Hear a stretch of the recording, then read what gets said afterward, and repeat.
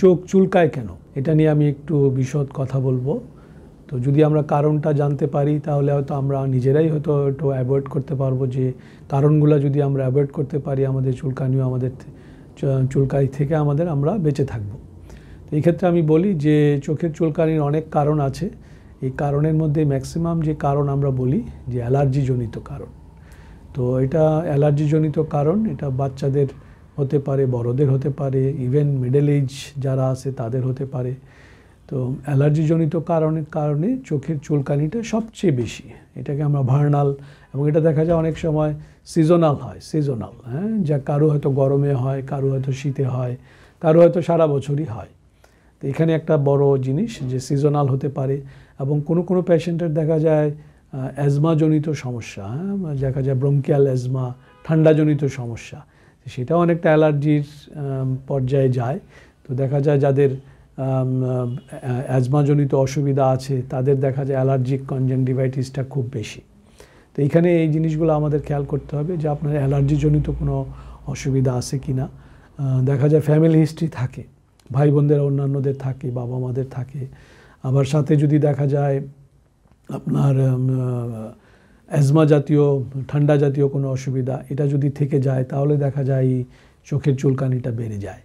আরেকটা জিনিস যে আমাদের ফুড হ্যাবিট আমাদের খাওয়া দাওয়ার সাথে একটা রিলেশন আছে এই অ্যালার্জির, এই চুলকানোর, যে কারও হয়তো হাঁসের ডিম, গরুর মাংস, চিংড়ি মাছ ইভেন ইলিশ মাছ অথবা ঢ্যাঁড়স, এই জাতীয় খাবারগুলা, যেটা পুঁই শাক এই জাতীয় খাবারের সাথে অনেকের কিন্তু অ্যালার্জি থাকে।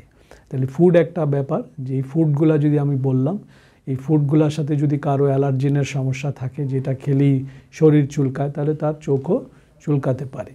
এটা একটা আর একটা হলো যে এনভায়রনমেন্ট সে কোন পরিবেশে থাকে, সেটার কারণেও কিন্তু আপনার এই চুলকানো জিনিসটা হয়ে যায়। তো এনভায়রনমেন্ট একটা ফ্যাক্টর যেমন কেউ যদি ধুলাবালিতে খুব বেশি খেলাধুলা করে, আসার পরে দেখা যায় তার খুব চুলকায়। অথবা কেউ যদি কার্পেটের মধ্যে থাকে কার্পেটে দেখা যায় অনেক ইয়ে থাকে, অনেক ঘরেই কার্পেট থাকে।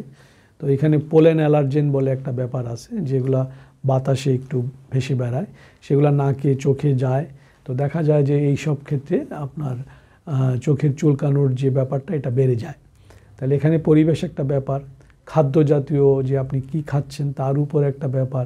তারপর আপনার জেনেটিক আপনার যে ভিতরের যে আপনার অ্যাজমা হাঁপানি আপনার অ্যালার্জি জাতীয় ইমিউনোগ্লোবিন ই লেভেলটা যদি বেশি থাকে ব্লাডে যদি ই লেভেলটা বেশি থাকে হ্যাঁ আপনার সেন্সিটিভিটি বেশি, সেই সব ক্ষেত্রে, সেই সব পেশেন্টের এই চুলকানি জাতীয় সমস্যাগুলো থেকে যায়। তাহলে আমরা যদি এইভাবে আমরা ধরি যে হ্যাঁ ফুড খাওয়ার তারপর আপনার জেনেটিক ফ্যামিলিয়াল আরেকটা যদি বলি আমরা পরিবেশ, এগুলো যদি আমরা একটু ঠিক রাখতে পারি, তাহলে আমরা দেখা যায় অ্যালার্জি জাতীয় সমস্যা থেকে আমরা বেঁচে থাকব। এই কারণগুলো যদি আমরা একটু মূল্যায়ন করি, তাহলে আমরা আমাদের চিকিৎসাটাকেও আমরা সেভাবে সাজিয়ে নিতে পারব।